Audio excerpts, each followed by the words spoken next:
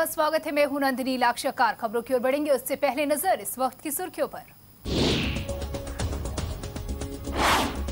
CM Yogi Adityanath पहुँचे अयोध्या। 26वीं कृषि विज्ञान केंद्र कार्यशाला का किया उद्घाटन। विवि में 750 किलोवाट सोलर सिस्टम का लोकार्पण। आतंकी बुरहान की बरसी पर कश्मीर बंद। पूरी घाटी में रोकी गई अमरनाथ यात्रा। घाटी में किए गए सुरक्षा के कड़े इंतज़ाम। मंगलवार को यात्रा हो सकती है शुरू। आगरा के यमुना एक्सप्रेसवे पर भीषण हादसा। खाई में गिरी डबल डेकर बस। हादसे में करीब उनतीस लोगों की मौत 18 घायल। मृतक परिजनों को पाँच पाँच लाख के मुआवजे का ऐलान। आगरा बस हादसे में सीएम योगी ने दिए जाँच के आदेश। ट्रांसपोर्ट कमिश्नर, मंडल कमिश्नर और आईजी मामले की करेंगे जाँच। 24 घंटे में सीएम ने मांगी रिपोर्ट। कानपुर में पुलिस और बदमाशों के बीच मुठभेड़। मुठभेड़ में पच्चीस हज़ार के नामी बदमाश रवि कुमार के पैर में लगी गोली। घाटमपुर का रहने वाला है आरोपी। और अब खबरें विस्तार से। आतंकी बुरहान वानी की बरसी को लेकर अलगाववादियों ने कश्मीर में बंद बुलाया है और इसके मद्देनजर पूरी घाटी में सुरक्षा के कड़े इंतज़ाम किए गए हैं। इस बीच एहतियात के तौर पर अमरनाथ यात्रा को रोक दिया गया है, यानी जो श्रद्धालु जहाँ हैं, उन्हें वहीं रोक दिया गया है। और अब माना जा रहा है कि मंगलवार को यात्रा फिर से शुरू हो सकती है। अमरनाथ यात्रा स्थगित करने का फैसला पुलिस और प्रशासन ने सुरक्षा के तहत लिया। एक जुलाई से शुरू हुई इस यात्रा को आज पहली बार स्थगित किया गया है। इस कारण यात्री निवास में 4000 से ज़्यादा श्रद्धालु डेरा डाले हुए हैं। पिछले साल भी बुरहान वानी की बरसी पर यात्रा को स्थगित किया गया था।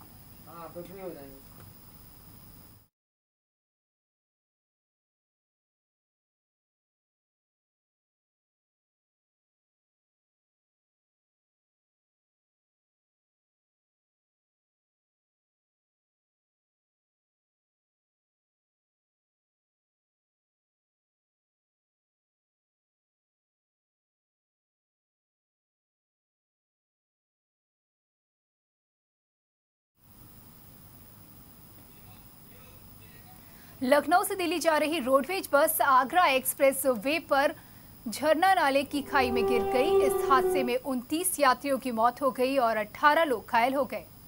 बस में तकरीबन 50 लोग सवार थे। घायल यात्रियों को अस्पताल में भर्ती कराया गया है। हादसे के बाद पीएम मोदी ने ट्वीट कर गहरा दुख जताया है। यूपी सरकार ने मृतकों के परिवार को पाँच पाँच लाख रुपए के मुआवजे का ऐलान किया है। यूपी पुलिस के मुताबिक बस का number UP double three, eighty five, eight double seven है। बस इटावा से दिल्ली जा रही थी। रक्षा मंत्री राजनाथ सिंह ने आगरा में यमुना एक्सप्रेसवे पर सड़क दुर्घटना का संज्ञान लेते हुए जिला मजिस्ट्रेट से बात की और घायलों के समुचित इलाज के निर्देश दिए हैं। आगरा के डीएम एन जी रवि ने घटना की जानकारी देते हुए बताया कि बस स्पीड में होगी और ड्राइवर के नींद में होने की वजह से हादसा हुआ। हादसा सुबह करीब साढ़े चार बजे हुआ। वहीं सपा प्रमुख अखिलेश यादव ने घटना पर दुख जताते हुए मृतकों को 50-50 लाख व घायलों को 10-10 लाख के मुआवजे की, के साथ सक्षम एजेंसी से जाँच कराने की मांग की।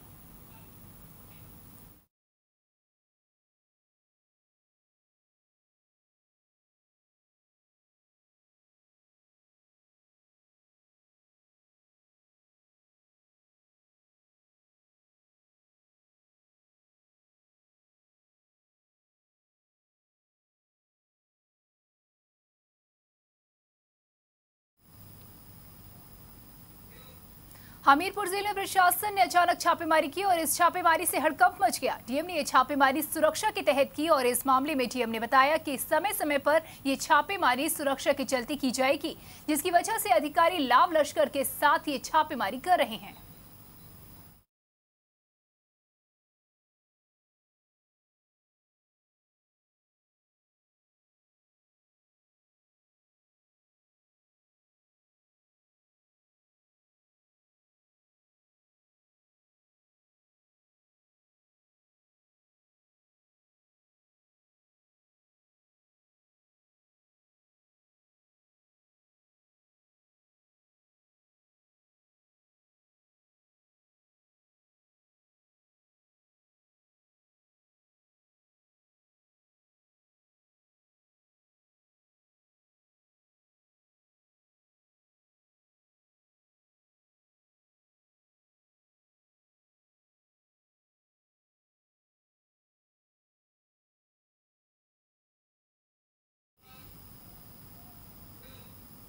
हमीरपुर कलेक्ट्रेट के गोल चबूतरे पर एक गरीब मजदूर अपने छह बच्चों के साथ पिछले पाँच दिनों से धरने पर बैठा है।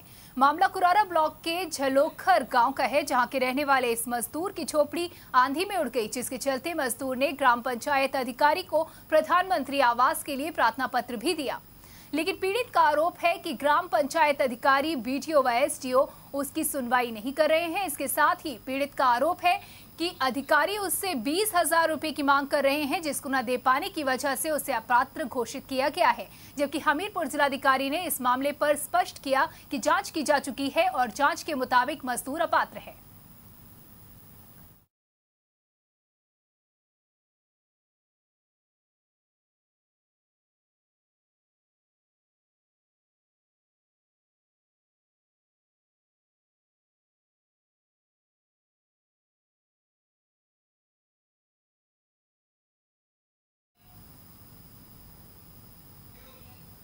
यातायात सुरक्षा को लेकर पूरे प्रदेश में अभियान चलाया जा रहा है, जिसमें कानपुर प्रशासन भी पूरी तरह से सक्रिय है।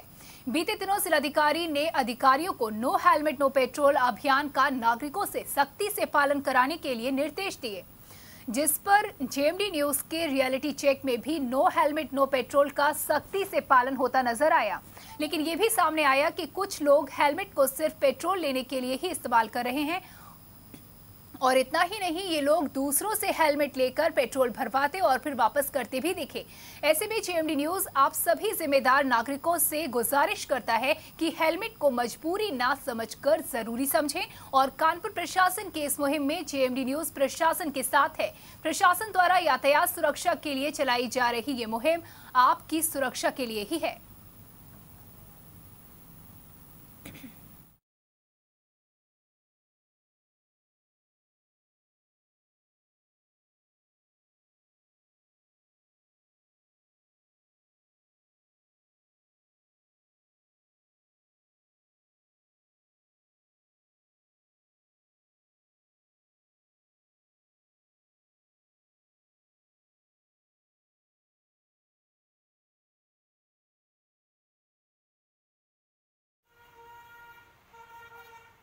यातायात सुरक्षा के लिए पूरे प्रदेश में प्रशासन जो है वो सक्रिय हो चुका है। इसका हमें उदाहरण जो है वो कानपुर में भी देखने के लिए मिलता है। कानपुर में भी जो प्रशासन है, पुलिस प्रशासन हो या अन्य प्रशासन हो, वो यातायात जागरूकता के लिए, यातायात नियमों के पालन के लिए जो है वो पूरी तरीके से सक्रिय हो चुका है, जिसका नज़ारा हमें देखने के लिए मिल रहा है। आप जैसा कि देख सकते हैं, पेट्रोल पम्प में किस तरीके से लोग जो हैं वो हेलमेट लगा करके लोगों को पेट्रोल दिया जा रहा है। आपको मैं बताना चाहूँगा, बीते चार जुलाई को डीएम ने मीटिंग किया था। मीटिंग में नो हेलमेट, नो पेट्रोल की थीम रखी गई थी, जिसमें सभी अधिकारियों को दिशा निर्देश दिशा निर्देश दिए गए थे कि अगर हेलमेट नहीं होगा तो उन्हें पेट्रोल नहीं दिया जाएगा, जिसका पालन जो है सभी पेट्रोल पंपों में इस समय बखूबी किया जा रहा है। लेकिन आपको मैं यहाँ पर अवगत कराना चाहूँगा कि यहाँ पर जो बहुतायत लोग हैं, वो हेलमेट को मजबूरी समझ करके सिर्फ़ पेट्रोल के लिए ही यूज़ कर रहे हैं। पेट्रोल पंप में आते हैं, हेलमेट लगाते हैं। पेट्रोल लेने के बाद में वापस उसको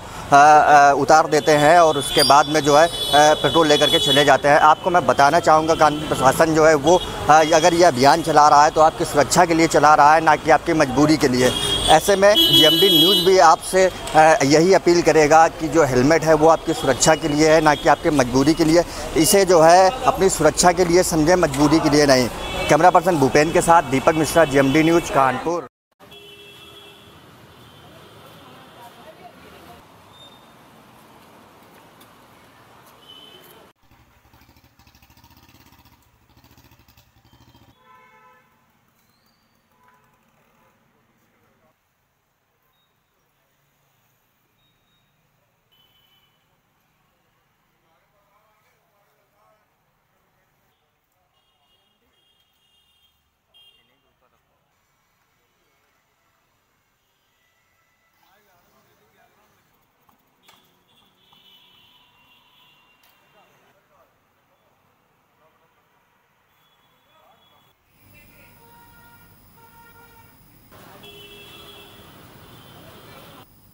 कानपुर की पनकी थाना पुलिस और एक बदमाश में देर रात वाहन चेकिंग के दौरान आमना सामना हो गया। पुलिस को देखकर बदमाश ने फायर कर दिया, जिसके बाद जवाबी फायरिंग में पुलिस की गोली से बदमाश घायल हो गया और पुलिस की गिरफ्त में आ गया। पुलिस ने बताया कि पकड़ा गया बदमाश घाटमपुर का रहने वाला पच्चीस हज़ार का इनामिया रवि कुमार कोरी है। उस पर कई थानों में मुकदमे दर्ज हैं।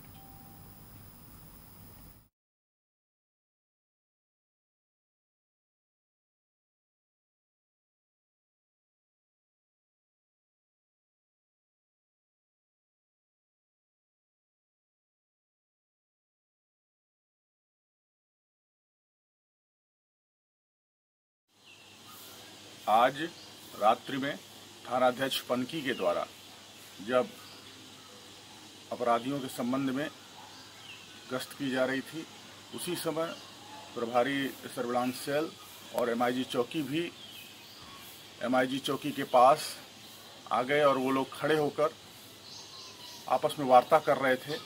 तभी पावर हाउस की तरफ़ से एक व्यक्ति मोटरसाइकिल से आता हुआ दिखाई दिया।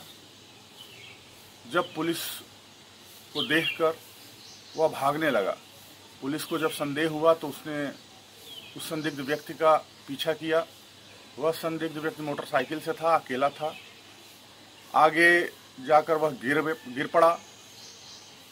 गिरते ही उसने पुलिस पार्टी पर जान से मारने की नीयत से फायरिंग कर दिया। जवाब में पुलिस पार्टी के द्वारा भी फायर किया गया। एक गोली उसके पैर में लगी। पुलिस पार्टी के द्वारा जब उसके पास जाकर उसका नाम पता पूछा गया तो उसका नाम रवि कुमार कोरी, पुत्र राम सजीवन कोरी, जो नौरंगा घाटमपुर का रहने वाला है। और इसी बीच बड़ी खबर आपको कानपुर से बता दें, जहाँ मानवता एक बार फिर शर्मसार हो गई। कानपुर से ये बड़ी खबर आपको बता रहे हैं। कल्याणपुर के पनकी नहर में एक महिला का शव मिला। सुबह छह बजे से पड़ा है महिला का शव, लेकिन कोई भी पुलिसकर्मी अब तक नहीं पहुँचा। और इस तरह लावारिश, लाश के साथ पुलिस कर रही है सौतेला व्यवहार। घटना कल्याणपुर के लोहे की पुलिया के पास की, जहाँ एक बार फिर मानवता के शर्मसार होने का मामला सामने आया।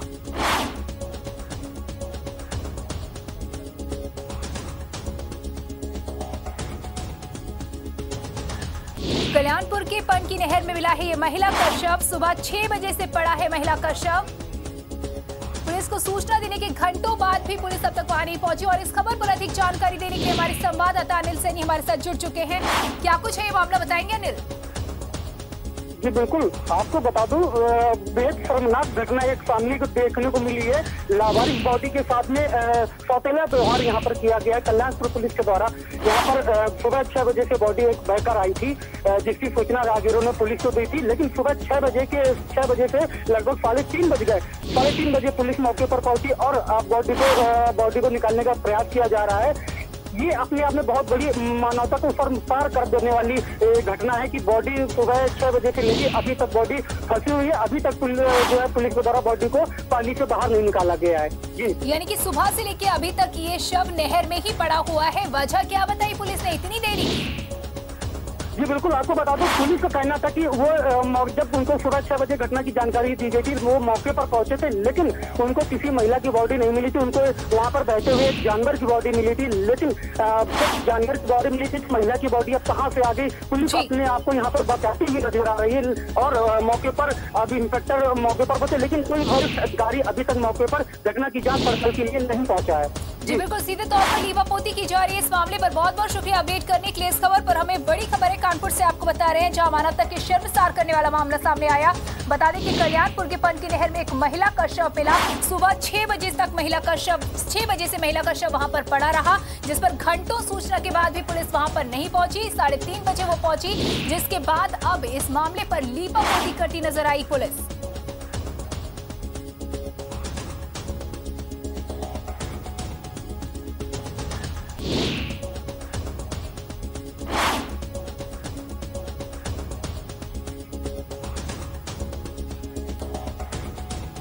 बड़ी खबर है, कानपुर से, जो कि आपको बता रहे हैं, जहाँ मानवता को शर्मसार करने वाला मामला सामने आया है।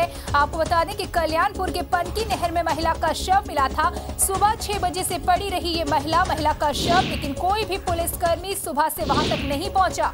बता दें कि लावारिश शव के साथ इस तरह का पुलिस का ये सौतेला व्यवहार सामने आया। घटना कल्याणपुर के लोहे की पुलिया के पास की है, जहाँ पर पनकी नहर में मिला एक महिला का शव।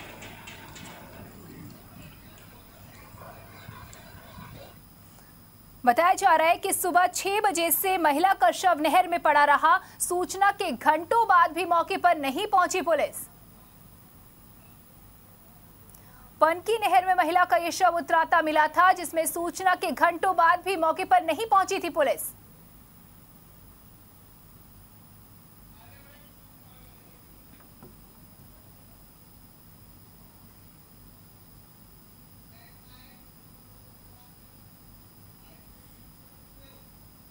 बढ़ते अगली खबर की ओर, बंगाल के टाइगर के नाम से मशहूर सौरभ गांगुली का आज जन्मदिन है, जिन्होंने भारतीय क्रिकेट को नई पहचान दिलाई।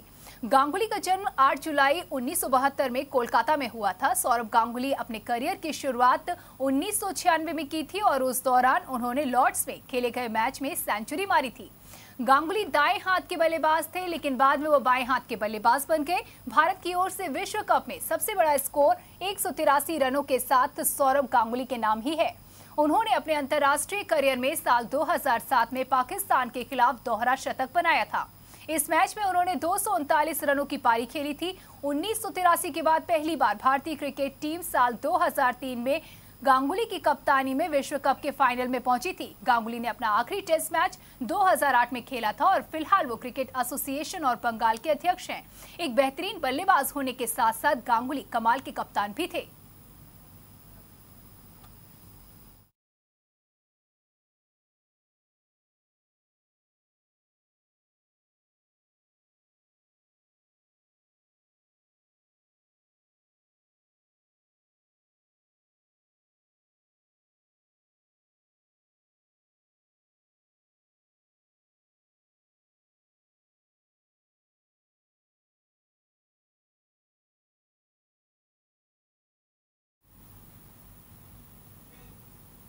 कानपुर देहात में रसूलाबाद तहसील के गाँव भौथरी अभी भी मूलभूत आवश्यकताओं को तरस रहा है, जहाँ गाँव में पानी के साथ बिजली की समस्या थी।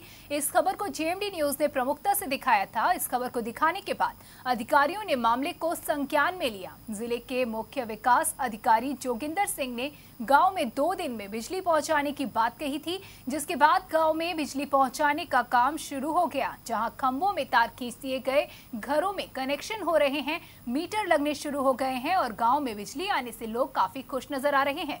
वहीं गाँव के लोगों ने बिजली के मुद्दे को उठाने और उनकी समस्या को दूर करने के लिए जेएमडी न्यूज़ को धन्यवाद कहा।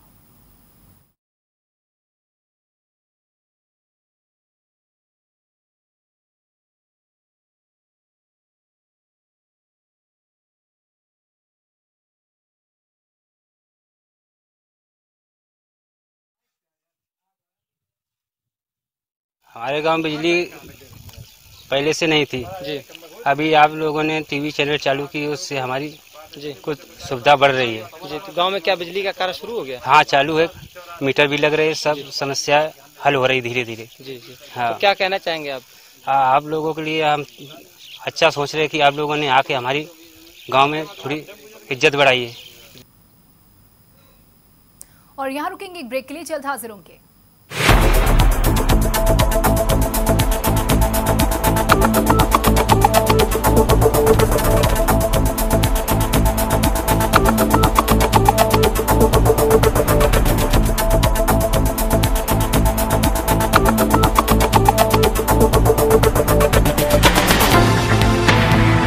सौंदर्य एवं स्वास्थ्य के लिए टेक्नो फार्म का शी केयर सिरप स्त्रियों के मुश्किल दिनों का साथी शी केयर सिरप पिक्चर देखने चलोगी? ना बाबा सर और बदन में दर्द है। ये लो अजूबी। अजूबी? दर्द भगाए आराम पहुँचाए। अजूबी? कमाल की अजूबी।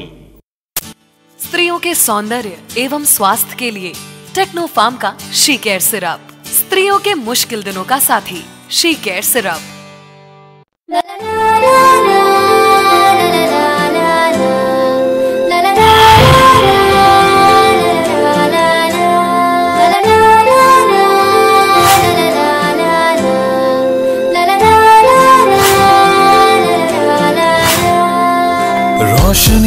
का कारवां इस तरह से हो रवा रोशनी का कारवा इस तरह से हो रवा हर घड़ी हर एक पल नूर से धुलता रहे। कारवा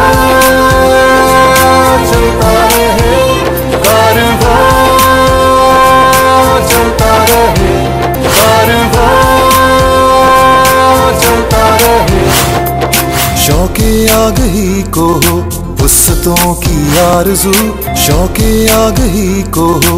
वसतों की आरज़ू रागुजर पर हर कदम इल्म से मामूर हो। हर अंधेरा दूर हो। हर अंधेरा दूर हो। रोशनी का कारवा इस तरह से हो रवा। हर घड़ी हर एक पल दूर से धुलता रहे।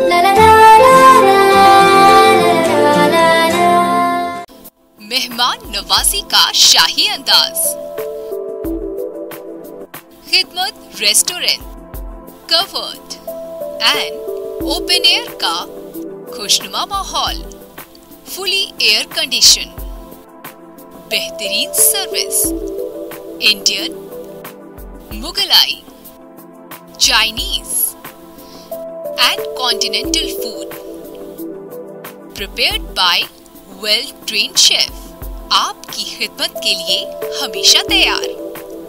खिदमत restaurant grand Geet hotel the mall Kanpur.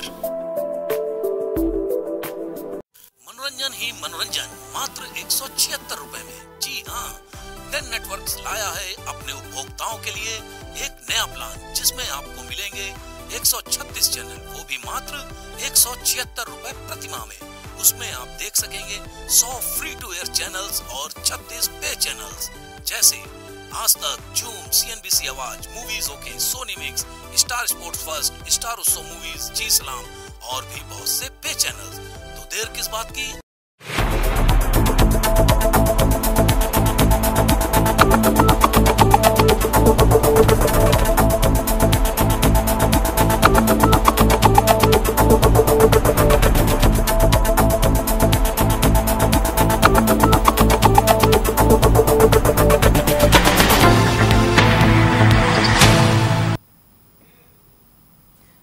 आपका स्वागत है और इसी बीच बड़ी खबर फरखाबाद से। फरखाबाद से बड़ी खबर आपको बता दें, जहाँ तीन युवकों ने किया नाबालिग के साथ दुष्कर्म।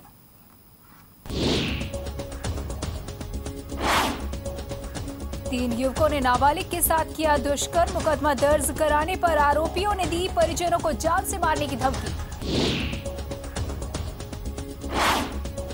माँ के पास जा रही थी ये नाबालिग बच्ची, जहाँ तीन युवकों ने नाबालिग से किया दुष्कर्म।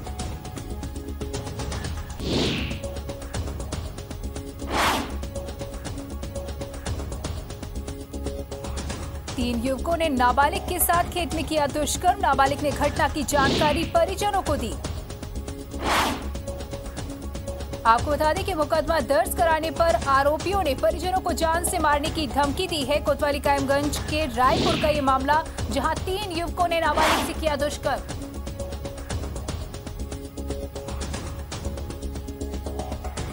अधिवक्ता परम मिश्रा ने ट्विटर पर दर्ज कराई शिकायत। पुलिस जबकि मामले को दबाने में लगी। पुलिस नहीं कर रही है आरोपियों पर कार्रवाई।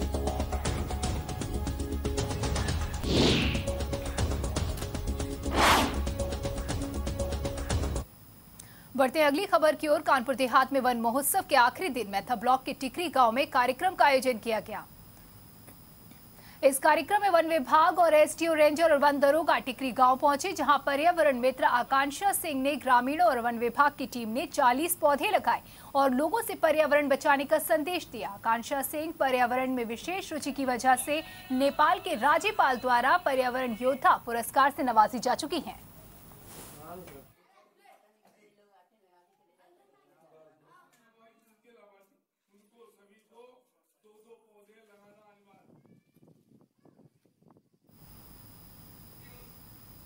कन्नौज के इंदरगढ़ थाना क्षेत्र के पट्टी गाँव की रहने वाली एक महिला नहर किनारे शौच के लिए गई थी, तभी महिला का पैर फिसल गया, जिससे वो नहर के तेज बहाव में बह गई। जहाँ मौके पर मौजूद ग्रामीणों ने महिला को बचाया और उसे अस्पताल में भर्ती कराया, जहाँ हालत ठीक होने के बाद उसे घर भेज दिया गया। हम आपको बता दें कि महिला पट्टी गाँव निवासी सुशीला देवी बताई जा रही है।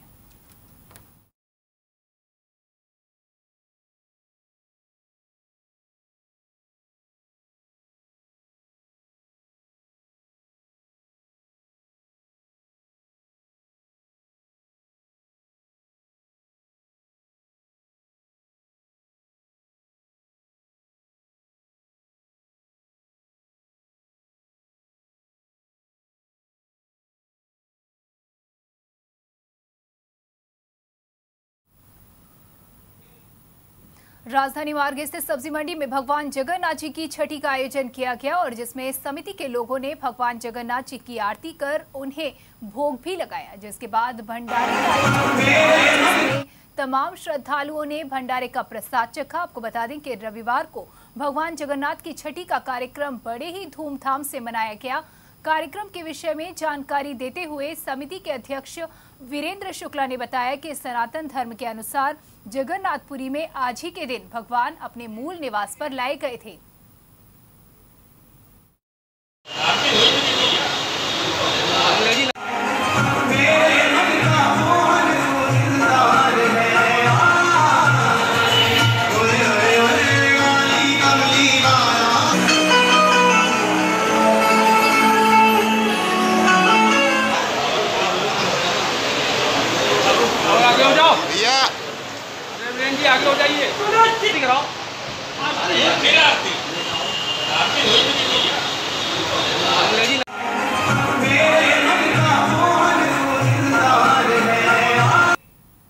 और इसी बीच बड़ी खबर ललितपुर से।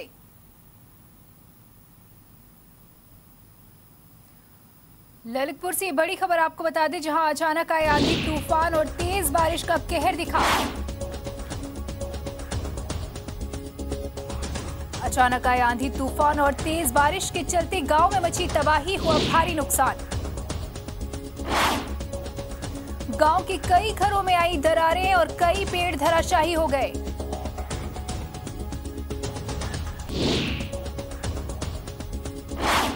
ललितपुर थाना क्षेत्र के झरकौन गाँव का ये मामला, जहाँ अचानक आए आंधी तूफ़ान और तेज बारिश के चलते गाँव में मची तबाही।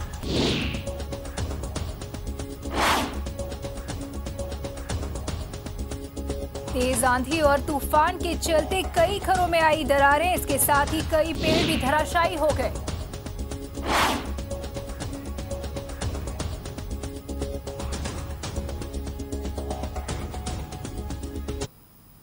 और इसी के साथ फ़िलहाल इस बुलेटिन में इतना ही। आगे की तमाम खबरों के लिए बने रहिए जेएमडी न्यूज़ के साथ और विज़िट करें हमारी website JMD TV India dot com को। नमस्कार।